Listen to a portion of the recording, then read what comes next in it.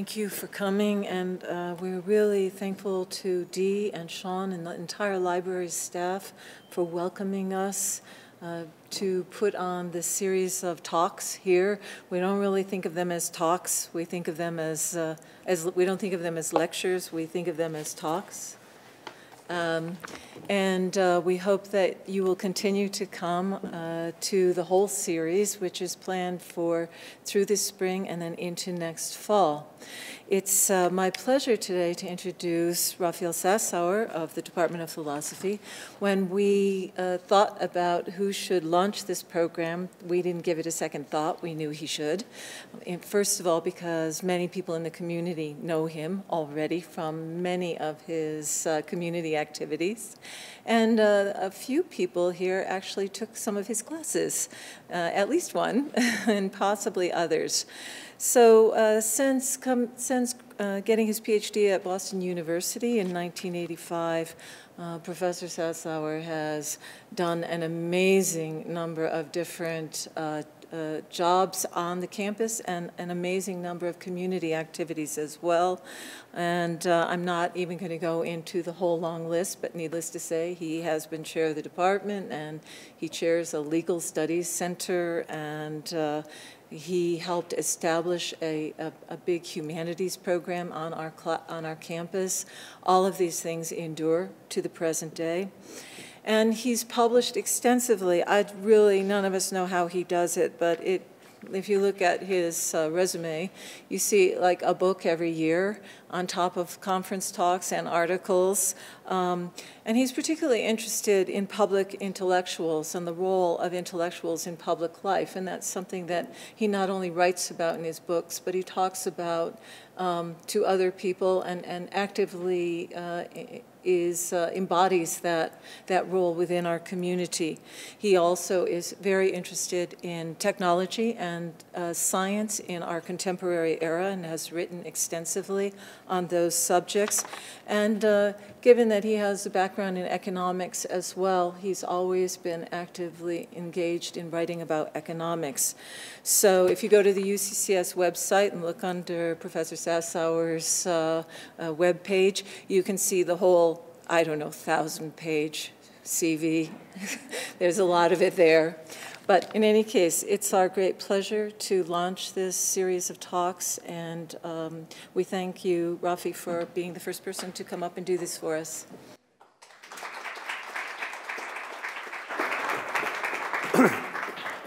Can you hear me? Yes? Okay, I'll bring it up. Um, I, yeah. We do have a, we do have a hearing loop. This room is equipped with a hearing loop, so if you have a hearing device and wish to set it uh, to the setting where it'll pick up the hearing loop, you will hear everything amplified. Um, just, just letting you know. And if you miss something, you haven't missed much, so don't worry about it. Okay. I really believe in public intellectuals, as Professor Olkowski kindly uh, introduced me. And I really think that what we should do, and I'm not going to talk about today, is have those public forums uh, all the time. Uh, I think that uh, academics should be in the public giving talks on a weekly basis about any topic they're working on. So I don't, and uh, whether it's funded, how it's funded, uh, it's a whole other issue, and I've made some specific re recommendations. So I'm glad to be here. I, I think it's my moral and academic obligation to be here. So thank you. The first thing I wanted to start with, uh, the topic was chosen nine months ago. So we gave titles and uh, I now had to think about what to say. Obviously, this is an impossible topic because you can talk about education separately, you can talk about digital technologies separately. To try and bring them together is quite difficult. So I thought I'll start with this image. Some of you may have been part of the 120 million people who watched the Super Bowl this past Sunday. If you have, one of the things that seemed to me very odd and it took me a while to catch on to it. it was played in this stadium, and this is the stadium of the University of Phoenix. University of Phoenix does not have any professional sports or teams. The stadium is 63,400. It's a relatively small stadium by many other standards. And it's a very odd stadium to have, or to have the Super Bowl in. And here in, as I'm watching the game, I'm thinking, there's something here about the talk today. And the question that I would like to start with is what is it about the University of Phoenix that actually, since 1976, has determined the context in which studying higher education, uh, higher education is going to be discussed? As you all know, University of Phoenix is a for-profit university which was an anomaly at the time in 1976. I remember when we first heard about those things, we said, this is crazy, it can't be true. Okay, it has to be state university, it can be private university, but they're not there to make money. How can you make money off education? Right? It's the most bizarre thing in the world. And University of Phoenix showed us that you can. So how do you do it? Well, first of all, you have to cut a lot of corners. And which corners do you cut? You cut on quality education. You cut on faculty. Its heyday, peak enrollment in 2010 was 600,000 students. It was also the university that was most engaged in online education when it first became available. Heavily, heavily. Current enrollment, as of the end of 2014, is, as you see, 247. So apparently this experiment, which is, was supposed to be what we all follow, is not as successful as it may appear. I'm not even talking about the scandals about funding, about trying to collect government uh, subsidies for funding, let's say, veterans, and eventually not enrolling them in the right courses or not having them finish the courses, but getting their money, et cetera. I'm not talking about scandals. Google it, you can find too much, okay, to even cover it.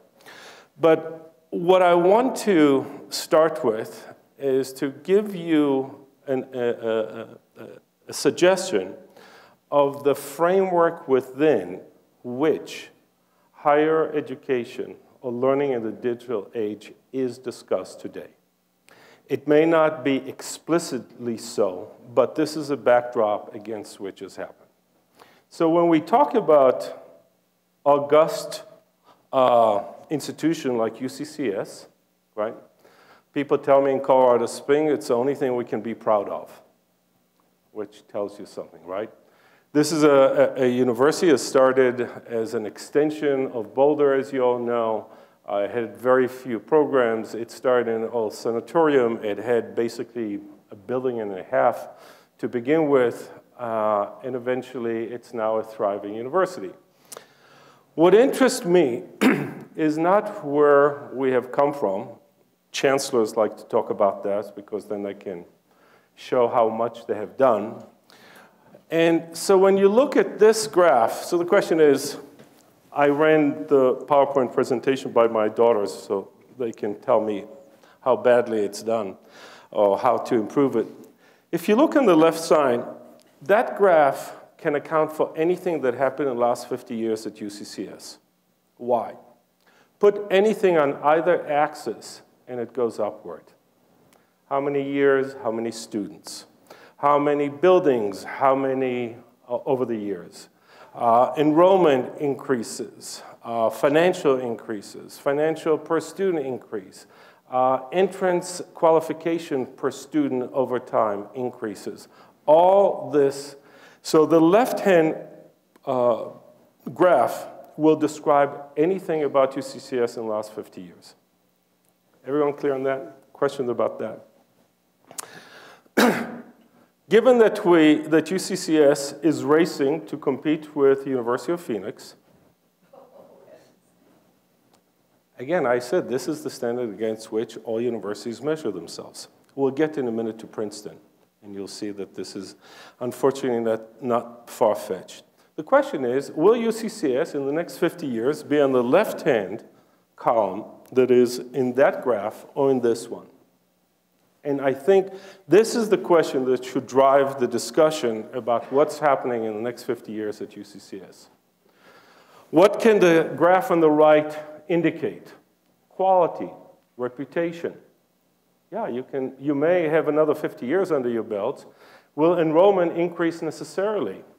Will eventually students not come to places like UCCS because they can get their education online cheaper or just go to any one of those diploma mills and get it you know, in six months as opposed to four years? The infatuation with, the digi with digital technologies and online education can sink places like UCCS. Okay? So I'm, I'm starting with University of Phoenix, going very quickly to where UCCS may or may not be. I don't know. I cannot predict where it will be. We have two options. We can either stay on the left in more than one sense, or we can move to the right in more than one sense. And at that point, the situation can be quite dire. And I want us all to remember that. One of the things that we do not talk enough about is reputation because it's hard to measure. We don't talk about quality. It's hard to measure. We can say that when I started at UCCS in 1986, there were about 3,000 students. Now, almost 30 years later, they're close, there'll be 12,000 students. So it quadrupled in size. What does it mean? Are students better educated? Are we having more professors who teach them? In 1986, when I started, and into the early 90s, we were concerned about a 50-50 uh, split between tenure-track faculty and part-time instruction. We were alarmed. We were worried if this is going to affect accreditation. I don't know if you're aware of it, but UCCS slowly, slowly got a, a, separate accreditation for all the degrees and all the colleges and everything, okay? Originally, we were under the aegis of either Boulder or Denver, and eventually it became independently accredited. In 1990, accreditation allowed 50-50% split between tenure-track faculty and non-tenure uh, faculty or part-time faculty. Would you like to know where it is today in 2015, what the ratio is? Okay, I, you probably don't want to know, but I'm going to tell you. 25% uh, tenure track full-time faculty and 75% of instruction is taught by part-time and non-tenure faculty. Now, the good news, at UCCS at least, and again, I'll speak only about our department because I don't, thank God I'm not an administrator, so I don't know about other departments, but I know in our department, we're very lucky that all the people who are non-tenured all have PhDs all have PhDs with, from good places, all qualified to teach. We're not doing what University of Phoenix does. Just for those who are interested, University of Phoenix claims on their websites that they have over 20,000 academic officers. Don't exactly know what it is, okay? I don't know if it means faculty, if it means part-time people, if it means just people who can uh, you're registered or can uh, administer, you know, uh, automatic uh, tests or whatever it is. So that's the worry. So I put it out there for us to consider that the new normal, the new standard for reputation and for quality higher education allows for 25% tenure track full-time faculty and 75% non-tenured, or part-time faculty. If you ask why, once again, University of Phoenix gave the answer. It's cheaper, okay? Tenure track faculty starting salary in philosophy is about $54,000 to teach five courses a year. An instructor at UCCS in our department teaches eight courses and gets paid $30,000 starting salary of $32,000. Part-time person who teaches just one course gets $2,500 per course. Is everyone clear on the math? Take a full-time tenure track position at 50 something thousand dollars teaching five courses, or pay someone $12,500 to teach the same number of courses on a one-by-one -one basis. They're much more easily fired.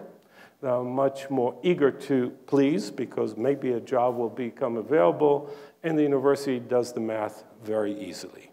That's why we are now moved from 50-50% to 75-25. I'm worried about it. I want to make it public. I'm sure if the chancellor were here, she would not want me to continue. So So let's talk about the digital age. the dates of it, uh, again, starting in the 70s, and you all know the story of the digital age or digital technologies and how wonderful they are. And we move from personal computers all the way to super connectivity, hundreds, thousands of books on the topic. I've written a little bit about it. And it's very seductive. It's very appealing. Uh, I'll give you one good, good news story since I've depressed you so far. Uh, when in 1986, when I asked a student, I don't know if, if I asked you that in those days, if I asked a student to rewrite a paper, they'd argue with you. And the question, why? Or in the 70s, if, when I was a student, why would we argue with a professor about revising a paper that wasn't that good? It wasn't a typewriter. I had to retype it. Cut and paste, which we see on computers, right? was literally people cut and paste, right? And then you had, you had, you had pools of secretaries who typed, or typists. Or you paid someone a dollar a page, I remember, to type, retype a paper. Before I'm going to go through all this hassle, I'm going to argue my position as strongly as possible. By the time we get the personal computer, the good news is you tell a student, listen, I, where's your thesis statement? It's buried in page six. I said, no problem, I'll be back in five minutes right? I can do it on my phone. I'll just move it, I'll print it for you. So intellectually or cognitively or, or pedagogically, obviously there's some great things that the digital age has done, okay? And if you use them in those ways, there's, there's a great advantage that can be had with it. But like with all these things, there are two groups who respond to the digital, digital age. There are the technophiles and the technophobes. Uh, it's fascinating. I wrote about this kind of stuff about science 30 years ago, and I still write about the same stuff because technophile and technophobes stay as these two camps no matter what the technology. It can be a, an argument about the Industrial Revolution. It can be an argument about any new scientific. There's always people who are scared and hate it, or worried about it, and people who applaud and welcome it with open hands. Here are the standard arguments about the digital age. Uh, obviously, that you know it's progress. Things only get better. Nothing gets worse. We know more, we have more access, it's quicker, it's simpler. And what we really focus on in the It's the Best of All Worlds is really on the material conditions. Okay? That was the argument about the Industrial Revolution. It continues to be the argument about the dig digital revolution or any new revolution we'll see uh, that has to do with technologies. The more interesting, of course, and this is a whole other lecture, is how digital technologies really helped enlighten or can help us overcome any sense of superstition. And this, again, these are all the arguments that get recycled nowadays as well, and how we really move from data to knowledge. Again, libraries on a good day can be a good place for, to have that discussion, okay? It's a collection of data, but how do you move data to knowledge? K through 12 on a good day can do it. Higher education on a good day can do it. on a bad day, they just give you the data, okay? And that's it. So that's really where there's added value uh, in, in, education. I also think that there's a, a, political dimension to it in the third point, where is a question about power relations. The authority of the word of an expert, the authority that was in the hands of those in power positions, is much more diffuse in the digital age when we have access to information in a much easier way. I'm not going to listen to you and just because you tell me that I should count on you knowing what you're talking about. I'm going to second guess you, okay? This happens in medicine all the time, as an example, right? You go to your doctor, nine out of 10 people before they go to the doctor check some of their symptoms or Google them before they go to the doctor. So they're now arguing with the doctor before the doctor even can give a diagnosis of their, of their whatever symptoms they may present. Good news, bad news. Doctor now doesn't have the kind of power position he or she had 50 years ago, 100 years ago. obviously there's a price to it.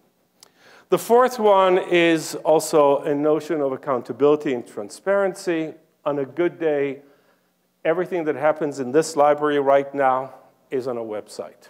You can check it out. Everything that happens at UCCS, go to the website, check it out. The one thing you cannot check at UCCS website, anyone can guess? One thing. No grades you can't. Whoever has access to them, it's on a website. What is not on the website? The only thing is not Drives me nuts. Budget. Fascinating. Money. You know, follow the money, obviously, for power relations, right? The budget is printed. It's available in our library, and you can take it out. You can check it out for an hour. Fascinating, right? Why isn't the budget transparent? Okay? Is the US government budget transparent? Is it on a website? For those of you who ever try to navigate it, as I do every once in a while, it's not so easy. Okay? It's not so easy to get raw numbers or big numbers, okay? You have to go through census data, you have to go through all kinds of, and it's, it's actually a lot of work. In a week or two, you can figure out somehow what's going on. But you're not going to get those nice pie charts that tell you this is how much for defense, this is who actually puts those together? Obviously, think tanks on the right and the left when they want to make a point, but that's a whole other story. And the last one is obviously some improvement in human health and well-being, everything from medicine to, I would, some people say even spiritual health, right? You can, uh, you can have access to yoga, okay, through digital technology. You don't have to go to a class okay, if you live in a remote area. Uh, for medicine, you know, the latest application on smartphones is to remind older people to take their medicine. I don't know if you're aware of it, but about half of problems with the elderly in terms of health care issues is not having follow-up and maintenance of regimes that have been prescribed by physicians or nurses. So if you have an app that reminds you, that's fine. I remember my mom in her last years, and she had no idea what she was taking or not. And then, of course, the, the technophobes. Okay? This is the worst of all words given any yardstick. Okay? Uh, most of you can think about, uh, and we'll get in another slides, uh, but I'll mention already now, the latest studies claim that individuals with smartphones spend an average of three hours a day on their smartphone. And the question is, doing what? And the answer is unclear. you have a tick. I'm sure some of you showed up here before the lecture started, and you have a smartphone, and you didn't just listen to Dee to turn it off, but you checked it. What, what was so important to check? And we do it. So it's a habit, it's addictive. There's something, and that's why it's awful, okay? We have, I'm sure you remember the scares about 10 years ago that if you use your cell phone too much and keep it close to your ear, you're going to get brain cancer. You will die, okay? So again, it's the worst thing that ever happened to us. The more we have those digital technologies, the worse it's going to be. The tranquility and sustainable environmentalism is going to be replaced by alienation, both materially and spiritually. The critique of Karl Marx from the previous, it's not previous now, it's two centuries ago, 19th century, is haunting us till today, okay? Material abundance, the way it's described sometimes by digital technologies, actually exacts a very high, high price, and the fact that you have more things or that you use more things more often does not necessarily mean that A, it's sustainable in any spiritual or physiological uh, way, or that it's really improving your life. If anything, it can make you miserable, okay? Somebody is trying to contact you. How? You don't know, so you check. You check your phone, you check your uh, internet account, you check the other internet account that you don't use so often, you as opposed to, okay, there was only a mailman who showed up once a day, and what came in the mail, that's all the information you had. That's it, all you needed. There's exposure, and again, we talk a lot more about that from NSA scandals to otherwise, right? You have personal exposure. Uh, the argument here is that it's bad even if you are voluntarily contributing to it. Okay? Uh, the geniuses who put their nude photos then upset that their nude photos go viral. The people who get drunk at parties and then those photos get used against them in a job interview. Uh, you know, so exposure, it's dramatic. It's dramatically different, sometimes by choice, sometimes not, sometimes through surveillance, sometimes uh, by self-exposure. Uh, we still don't know what the effects, long-term effects of that is, okay? We really don't know. We, some studies have shown that psychologically, uh, those kinds of uh, intimate connections you have with digital devices are actually making you less prone to have social, whatever normal relations would otherwise demand or expect of you, okay? Uh, for those of you who remember, Asperger was diagnosed or made more publicly known about seven, eight years ago. Uh, my guess is within, it's like, like ADHD, right? My guess is within five years, half the population is going to be declared Asperger, on the Asperger spectrum. And the, for those who don't remember Asperger uh, cases or syndrome or what the issue is there, is not being able to read social cues. So how would you know how to read social cues if all you do is deal with your cell phone and your laptop or your tablet? Shift from uh, compassion and empathy of a small community to a global uh, uh, community where those qualities not only are not nurtured, there's no way to actually test them or to actually practice them most of the time. How do you, how do you uh, display empathy uh, in your texting? By writing the full word as opposed to just a symbol? I mean, how, how, how do you express that? Uh, I mean, making a, a, sad face, you know, or a smiley face is an expression of empathy or human relation. Is this really the most we, we're going to uh, deal with? That's a question. And obviously, the last one is we get disconnected. And as you can see, all these, uh, again, the hundreds and thousands of images.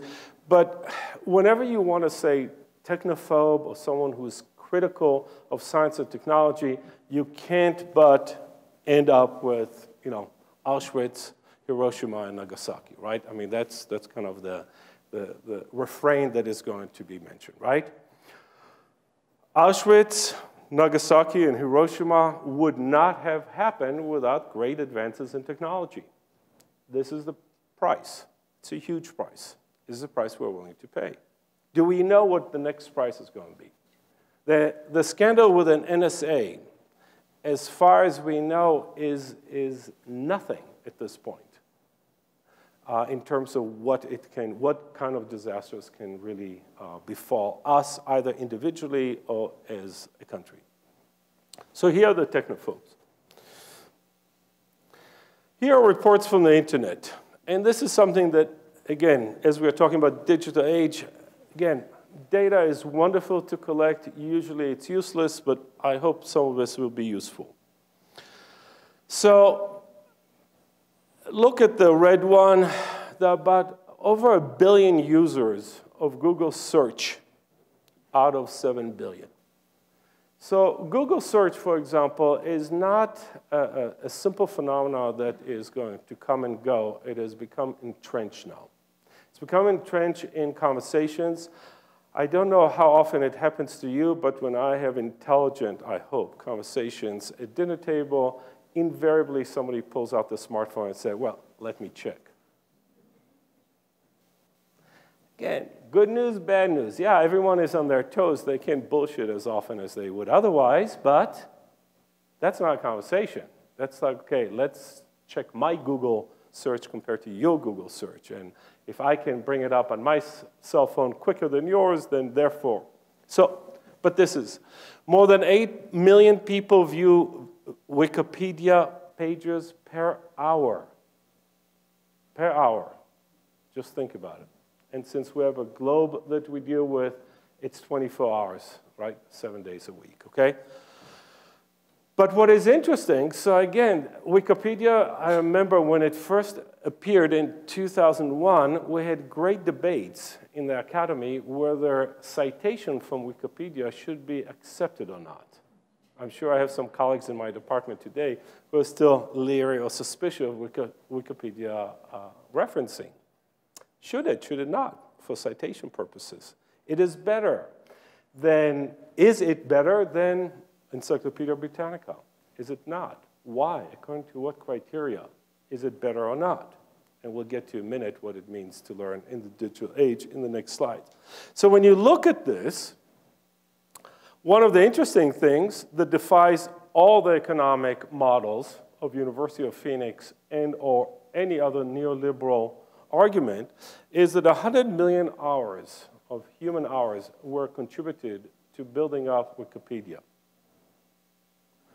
None of the people who added, edited anything or added any content get name recognition. They don't get paid on name recognition. This defies every economic model we have proposed in the last hundred years. Okay? This comes as close to socialism on a good day that Marx could not have even envisioned. How do a bunch of people collaborate willingly, okay, for the love of knowledge? Not even, I, I'm sure like some of my colleagues get requested to contribute to, uh, encyclopedia entries, and I do but my name is there. I'm an expert on X, whatever the X that I was asked to do. Here, you don't know even who did it. They have now pay, an, a paid army of people who check, okay, and fact check those kind of entries, which is also interesting, okay? So also Wikipedia may become as robust or more than Encyclopedia Britannica as a new standard bearer for knowledge, okay? Or for how we learn, uh, you know, or how we gather data. On books use, it's all interesting, and this is the last tidbit that I already mentioned. There are two basic models of learning. I know we, this talk is about learning, but we need some clean up some background. There are two models, again, philosophically. Uh, one is the uh, Socratic model, already talked about in one of the dialogues in the Meno, and this is really a theory of recollection. So on some level, what it says is there's really nothing new under the sun because there is the theory of the soul that gets, you know, transmigrated, if you wish, in Greek, also in some Eastern uh, philosophies. All we need is to have the right midwives called teachers on, on a good day who can help deliver the knowledge you already have. The, the example given in the Meno, Meno was a slave, and Socrates proves to the learned people of his Athens that in fact even the slaves know some, I think geometry or whatever it was, some uh, basic level mathematics. He asks him all these wonderful leading questions, and the slaves gives the right answers, Hence, the slave knew it before it was told to you. Okay? It's almost a deja vu-like that happens to you sometimes when somebody tells you something. Yeah, I knew about this. I just didn't recall it as well. So that's one theory. So in fact, all we need to do is have midwives, which is the term he uses.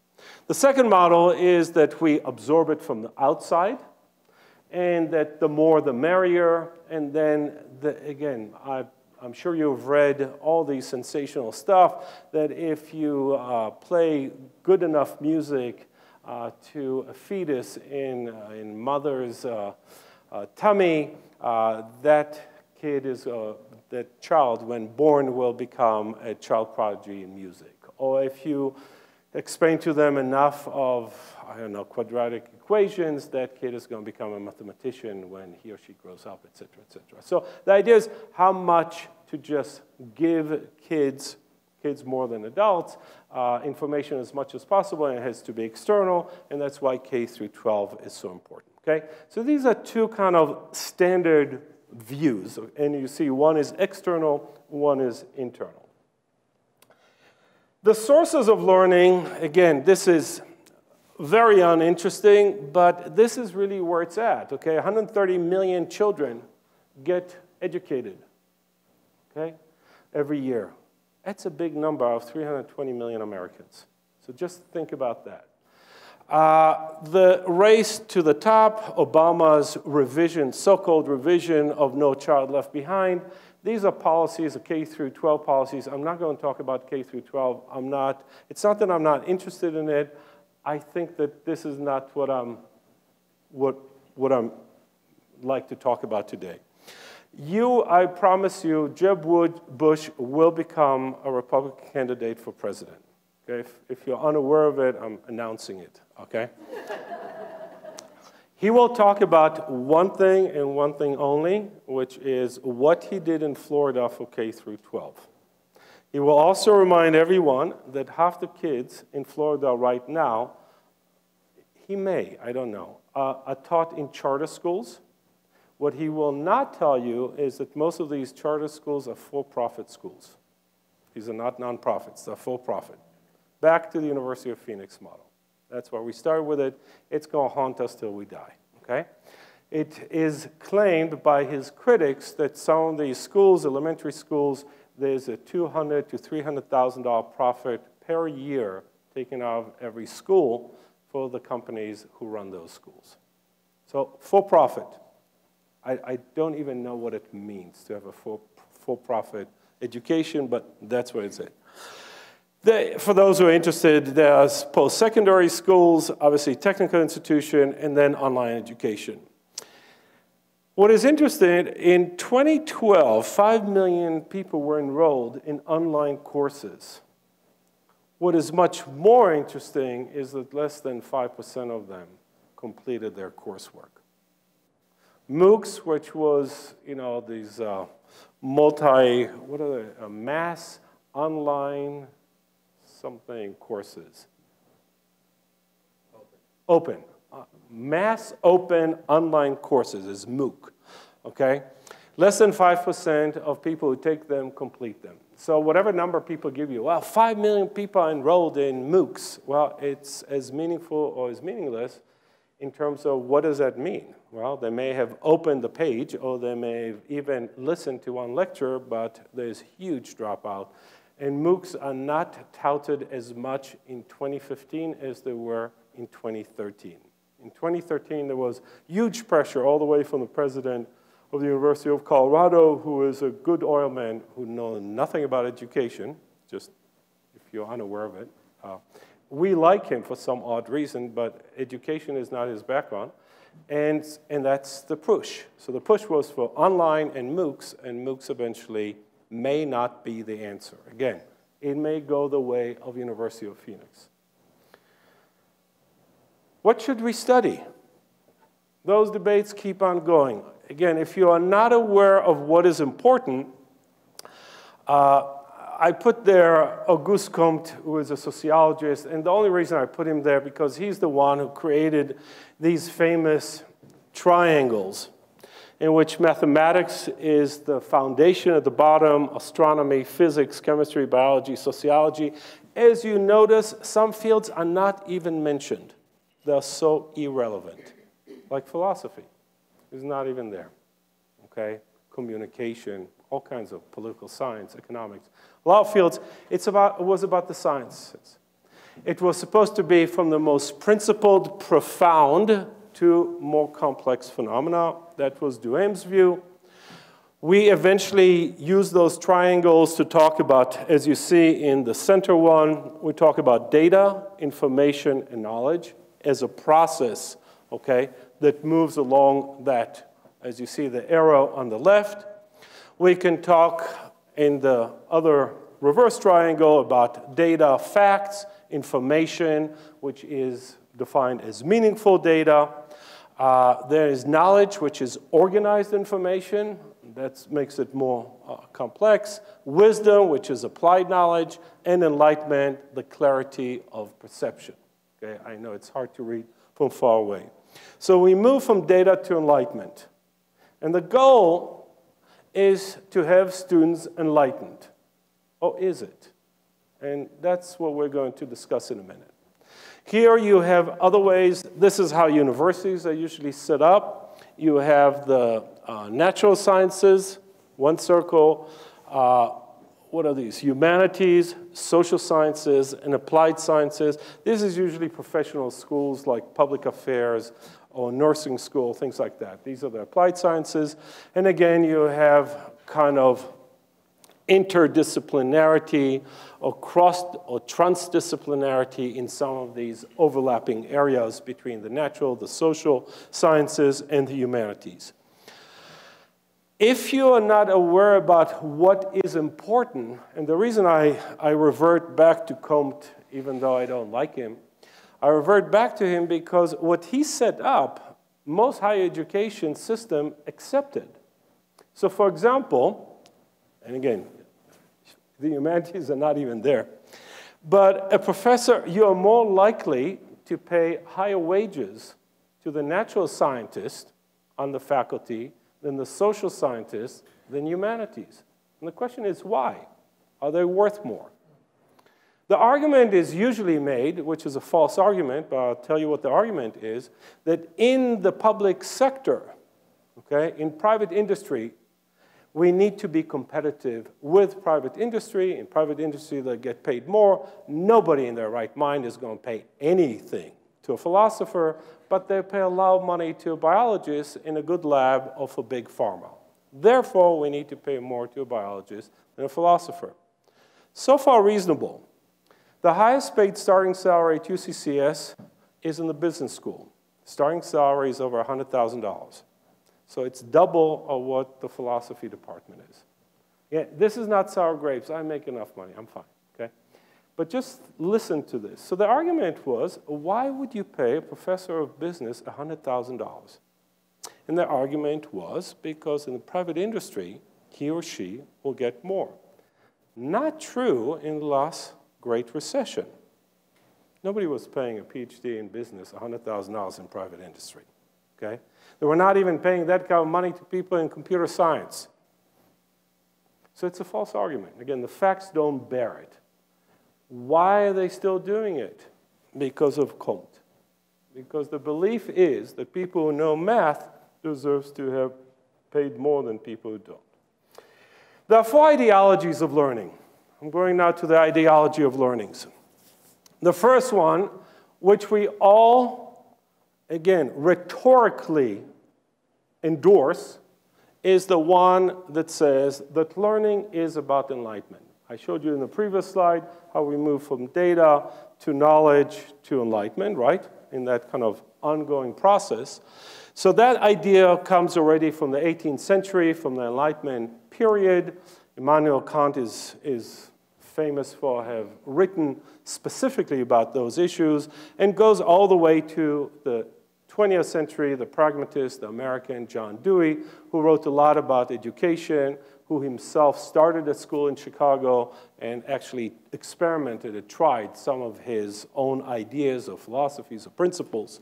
And the idea is that we are moving, again, for those who can't read it from far away, so as to free humans from their shackles of laziness and ignorance ideals of equality and freedom, potential human perfectibility. That's the idea of enlightenment. Okay?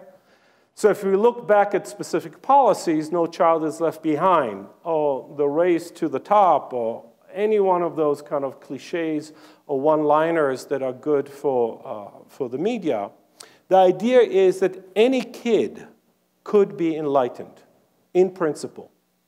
Everyone has the makeup. Because if you say that that's not the case, you're all of a sudden tampering with other principles like equality and freedom. If you're going to maintain those principles of equality and freedom, you can't say some people are really dumb, don't educate them. They need to collect garbage. Some people are really smart, you educate them, they need to be college professors. Can't do that. Enlightenment says, here are the principles that we abide by, and according to that. There was something outrageously romantic and beautiful about that view, okay? that any one of us can be enlightened. Okay? I'm sure some of us teach at UCCS because we really believe in it, because we really believe that however underprepared our students may be coming from K through 12 in some places in Colorado, they can be enlightened. They can be as good as anyone in an Ivy League. okay? And truthfully, we have proven that that's the case in many, in many uh, ways. The second ideology, and a completely, if you want to think of it in those sense, a negative, nasty one, says learning is about indoctrination. It's not about enlightenment. It's not about freeing people. It's really about socializing them. It's about state run, whether state run you mean in federal level, state of Colorado, or even local PTA. State run, sanctioned institutional learning, where ideal principle, norms, and codes are presented as the truth, but in fact reproduce dominant and hegemonic power relations. So, for example, ways, I mean, one of the great uh, writers about it is, is not an American, but his name should be mentioned, Paulo Freire, who has written quite extensively about it and shows to what extent textbooks, for example, replicate a very specific ideology of the nation and reproduces it.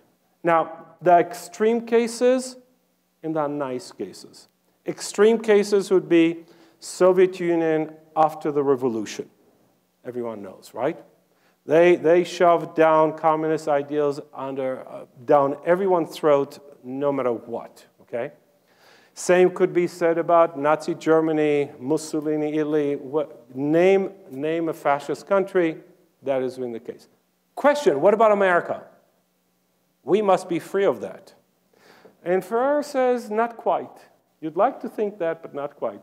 Start looking at textbooks, in specific period in American history, and you find that there are certain views that are being foregrounded, that are being reproduced, so to speak, or taught in ways that may, for example, minimize slavery. I don't know if you know that, right? Did we have slavery in America?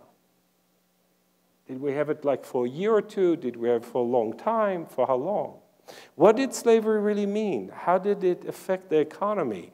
What did it mean in terms of right? We believe that the Constitution talks about equality, right? Fundamentally and absolutely. If, if that's the case, how come women didn't get the right to vote in 1920?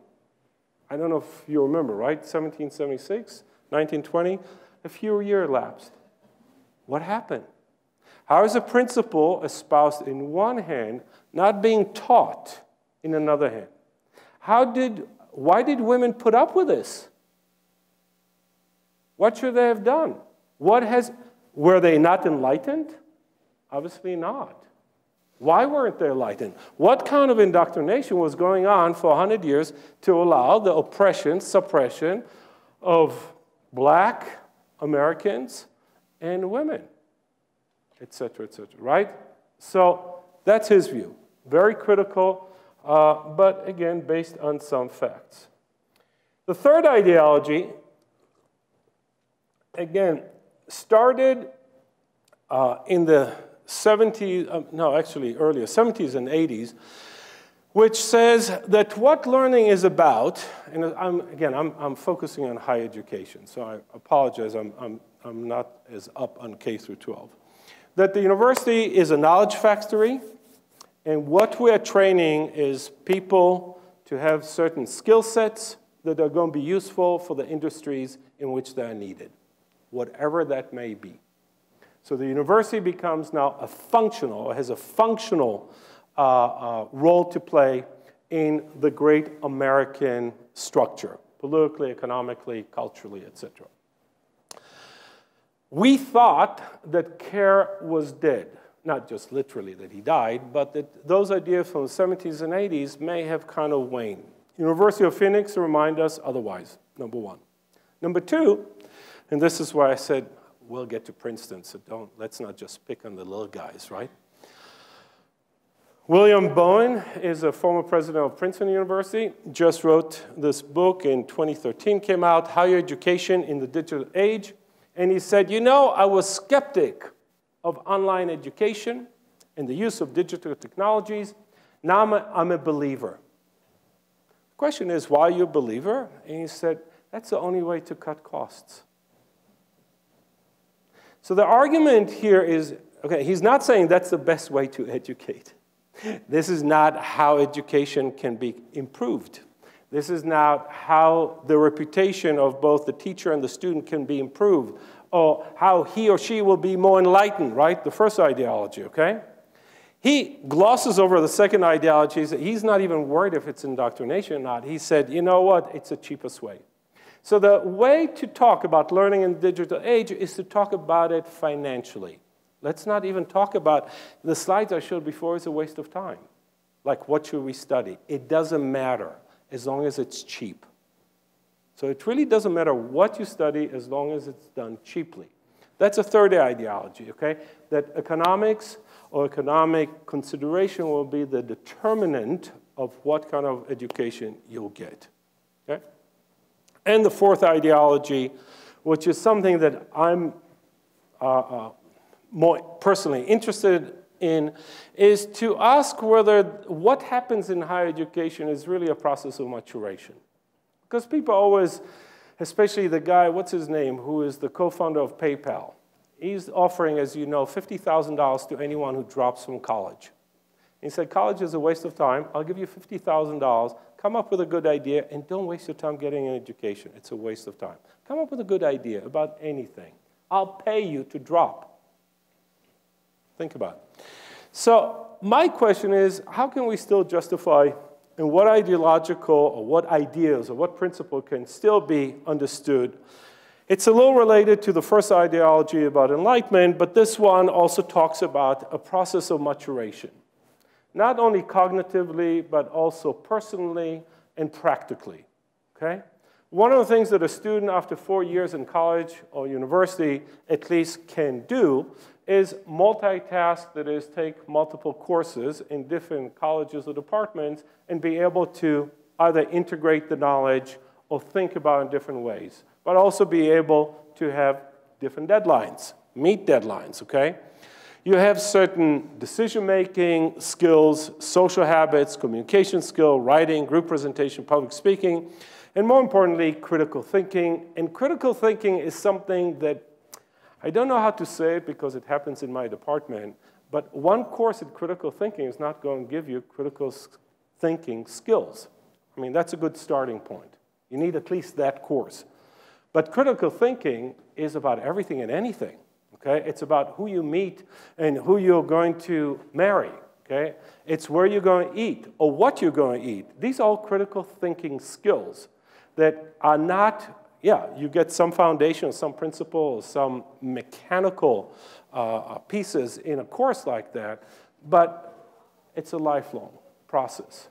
And you have to start, and I think college is a good place to do it because you have the luxury of being a little bit in a community where that is appreciated and welcomed, okay? I can't tell you how many of my students tell me that when they apply critical thinking skills either at home or at work, they're in trouble. Okay? I, I have reports of students saying they got divorced after taking some of our courses. We didn't intend for it, but they'll say it's the first time that I, I realized that the argument was invalid, or that I had my own argument, or that maybe the premises should be examined, or maybe you can't jump into that conclusion, or maybe it's too hasty. It's like, oh, okay, so actually some of the stuff actually filters and you're using it. Or in a job, okay? How many bosses welcome criticism of what happens in the workplace? In the business world, I know only one guy, again, from personal experience from my brother-in-law, who actually used to pay people to criticize him. And that's Bill Gates when he ran Microsoft. He used to have on a weekly basis on Friday, used to invite people from outside Microsoft to come and criticize. He paid them. My brother-in-law was one of them. I think they paid them five grand or 10 grand to show up and to tell him what he's doing wrong. I don't know what he did with this information, but at least you realize that there was a culture in which critical engagement is something that people are welcoming as opposed to shunning or shutting up. Uh, so, learning in digital age. I, I, guess this is the title of the, of the talk. We have, how long do I have? Still? Okay. Uh, we have technophiles and technophobes. Again, I could give a talk and saying, this is the best thing that ever happened. Digital technologies are what we need. We need more of it. We need to invest in it. It's the best thing we should do, et cetera, et cetera. The interesting part is that the only, most of the studies is about K through 12 on that question, okay? That is, our students, our young students, especially in young ages, they learn some faster than others. The standards where we used to teach a class of 25 or 30, we taught the same thing to everyone.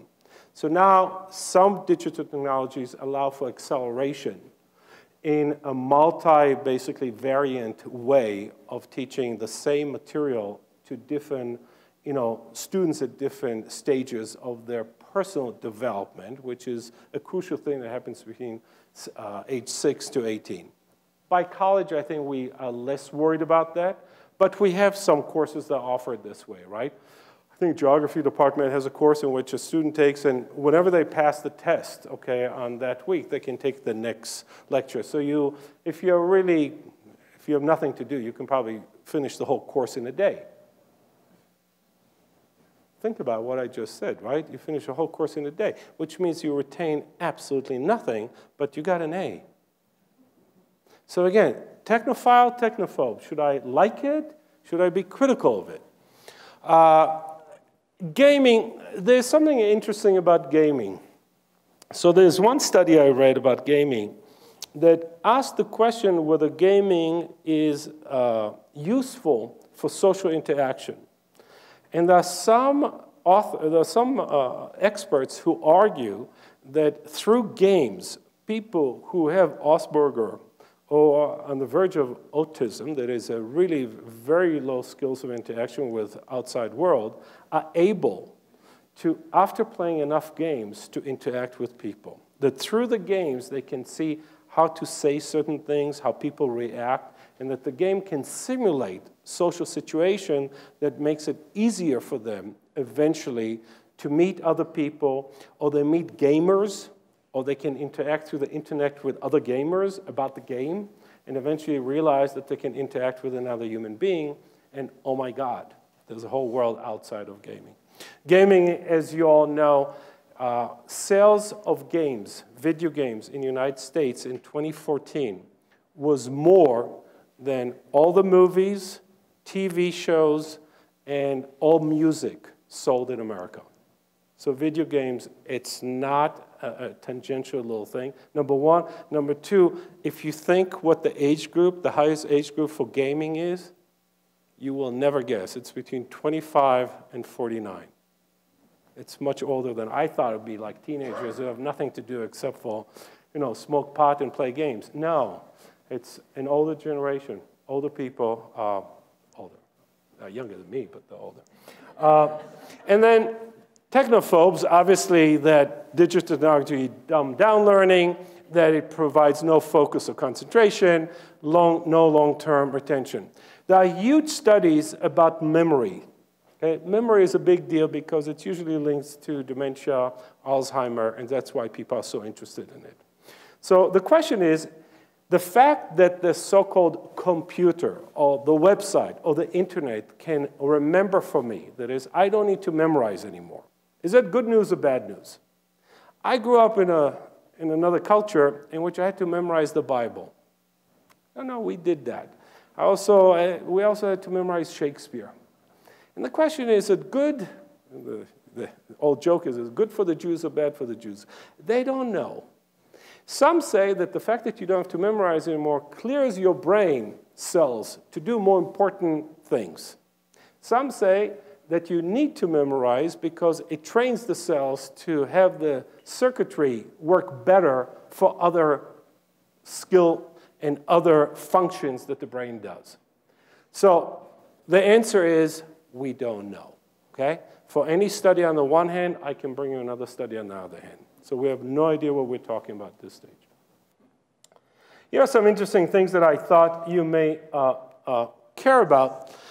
And the shift that I mentioned earlier between uh, moving from encyclopedias, let's say, to Google, one of the question is, what, what, is, what is being questioned? What is at issue here?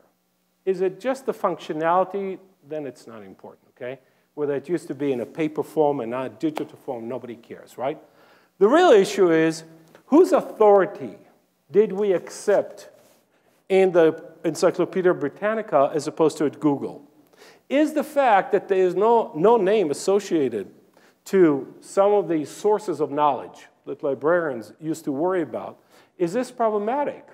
Is this liberating or is this even more scary? Like a big brother is giving you this information, and that's what you have to know, right? As opposed to there, there's a name, so I can check up on that person who is who authored that entry in the encyclopedia. Two views obviously come to mind on the shift from scholarly resources to this kind of a broad base. One is Wisdom of the Crowd. I'm sure you heard about it. It was a bestseller book by uh, James, whose last name is unpronounceable. And what he said is if one person asked the question, what you need to do is have as many people as possible give the answer. There's a very famous TED talk, I don't know if anyone saw it, in which they brought a cow on stage. Do you remember that? And they asked, how much does the cow weigh? And people got all cell phones and they entered a number. And I think there were 3,000 people in the audience that collected all the numbers, divided them by 3,000, and they got the cow's weight, I think, two or three pounds off. Amazing. One person guessing is not good. And they said if 3,000 people guess, the average answer, it will average out to be an accurate answer. And that was called the wisdom of the crowd. I hope you realize what we're talking about here, right? Pretty scary. This is really the diagram up front there, right? It's, it's those bell curves, right? And the bulk happens, okay, in the center.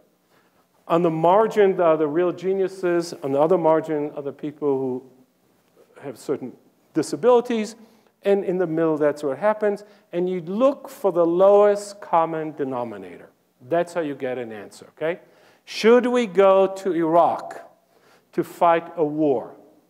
Ask as many people as possible. And by the way, most politicians used to do that for a very long time. Bill Clinton used to be famous for that. Any question he was asked by the media, the first thing he said, I'll get back to you tomorrow. Had his people run a poll, okay? They polled, they did fairly good samplings. Whatever people said, the majority of them, that's what he said. That's why he was very popular as well, right? Just follow the people and eventually you can as Obama was accused of, follow, I mean, lead from behind. So we have the wisdom of the crowd. Against that view, we have Nietzsche that we teach sometimes. These are sheep. This is a rock, right? The first sheep goes down and the rest will follow, right? And they'll be dead. So is the wisdom of a crowd eventually going to kill us all? Nietzsche was worried about it. He said, you know, herd mentality is really dangerous. We need to worry about that because we can herd people into crazy ideas, right? Like what? Killing six million Jews. Okay. Most Germans were willing participants. How did we get? We were willing, I don't know if you remember World War II, United States, right?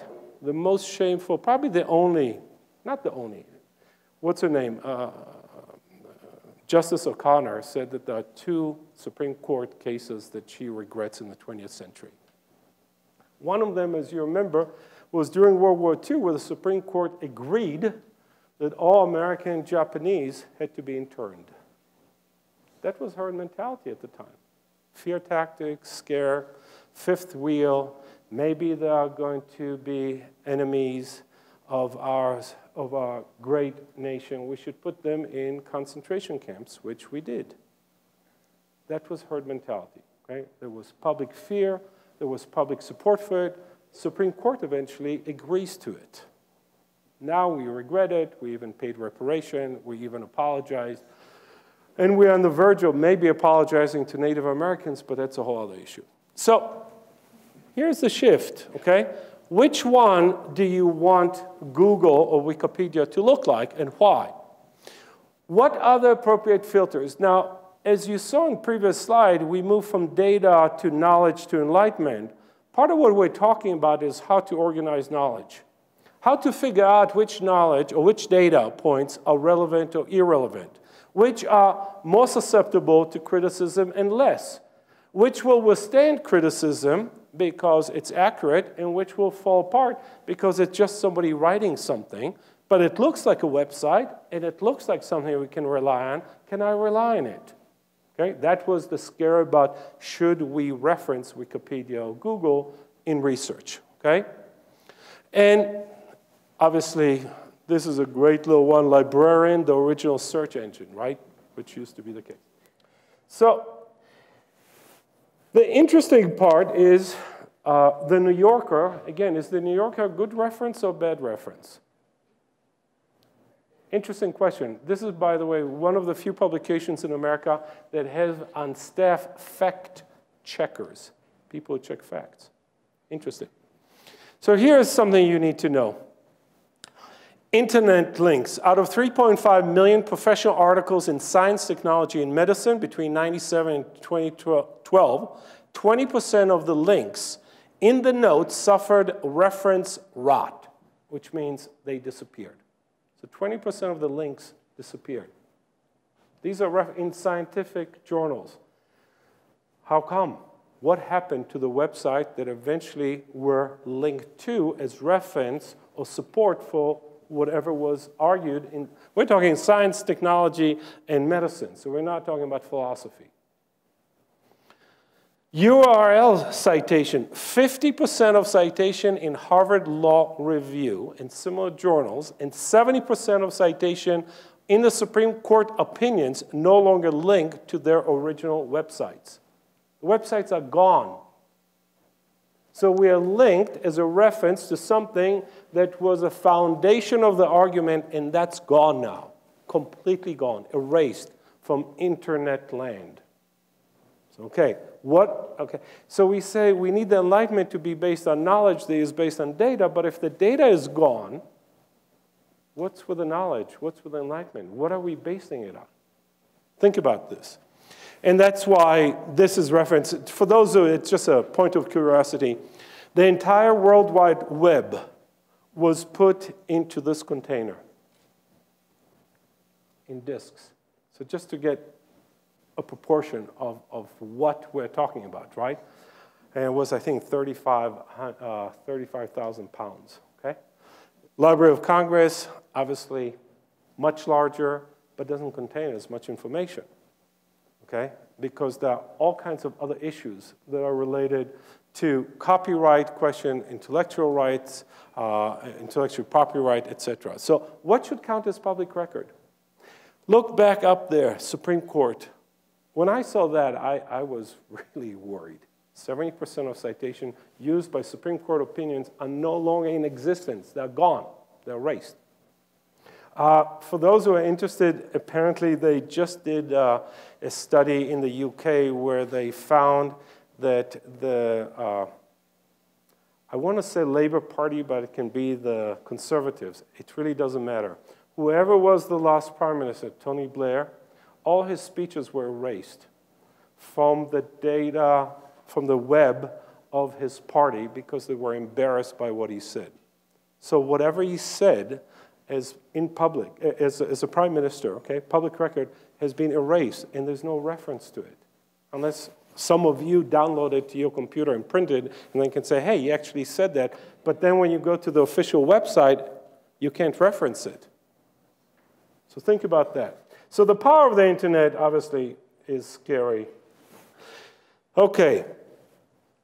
So what, what should be the answer about learning in the digital age? As philosophically, we always answer it depends, right? But I wanted to not be cavalier about it. It depends on what? What are you really asking? Are you asking learning under what ideological rubric? Are you asking in terms of enlightenment, in terms of indoctrination, in terms of skill set? If you're looking for skill sets, I would suggest close most universities because vocational training we can do with YouTube much easier than going to university. Okay, if all you're looking for is cashiers at Walmart, you don't need university system. Okay? So the question is, what is the question? What answer are you expecting? Again, if you're expecting to promote a certain viewpoint, we can tailor the answer uh, to the question. What is the purpose of even asking the question? Do we care about education in America? President claims he cares about it. What do we do about it? Giving two, I think his latest proposal is two years free tuition to those who qualified into community colleges. I don't even know what that means. It makes absolutely no sense. Some European countries, as you may know, have very clear commitment, ideological commitment to higher education. After high school, actually during high school, you are set to either vocational training or academic training. Those who go to academic training, which is a very small percentage of high school graduates, get free education. They're expected to become, I don't know if you're aware of it, civil, uh, part of civil service for, let's say in Germany, I know a little bit, uh, that already started with Humboldt. There's an ideology. There's what you expected. As a university professor, as I am at a state university, I'm a civil servant. By the way, I am. Okay? I get paid by the state. Therefore, I have certain civic responsibilities beyond just writing a paper nobody reads. Okay? What is it? Well, public lectures, all kinds of things. Serve on committees that really further the future of the city or something like that. Okay? Be on an oversight committee of the utility company, whatever it is, the ways in which you can do. So data set support, and so uh, what the learning in the digital age one of the things that philosophically is bothersome is any answer you want to give to it, positive, negative, critical, supportive, you can find a data set to support it. So we're in a bind here, okay? It's not very helpful. Practically, it also depends, okay? Are, are you interested in education reform? If yes, what kind? Should we have elite universities and lower universities? The United States made the argument, yes, that's what we call community colleges, okay? We have vocational schools, okay? We have elite schools like the Ivy schools, right? That's supposed to take care of a completely different strata of the population, right? Not the people in Colorado Springs, for example. Are you willing to learn from mistakes? Have we tried any reform and see if it is a mistake or not and learn from it? Are we so worried about making mistakes that we're never going to try anything novel or interesting? Are you willing to spend time and money to find out what is the most useful answer? And the answer, once again, we are not sure. We have federal mandates that are then executed locally. How does that work? We have a president of the University of Colorado who has never been in my class. I think it's astounding. I've been teaching here for 30 years, and no president of a university has ever been to my class. I'm a great teacher. Why am I saying this? I've worked also in industry.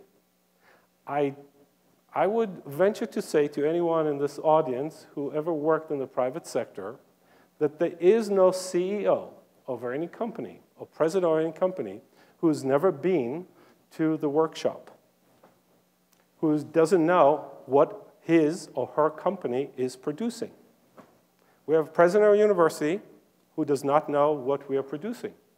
They haven't been in my class. How would they know? They get my annual report. I doubt they read it. It's in English, but I doubt they read it. So think about it. You want to be University of Phoenix. You want to apply a business model to higher learning. Guess what? Play like a business person. Market your goods. What are our goods? What is it that we teach? Do you know how to market critical thinking? If you don't, don't be a president of a university. Go be a president of Walmart. At least you know I'm selling this, I'm selling this, I'm selling that. Okay? Even the CEO of Walmart, especially the founder, knew every truck that left his warehouse. If you remember, that's how he succeeded so well. I don't think there's any president of any university who knows what trucks leave what warehouses. There's what students learn in classrooms. They don't. They hear online and say, oh, it's cheap, let's do it, let's invest in it.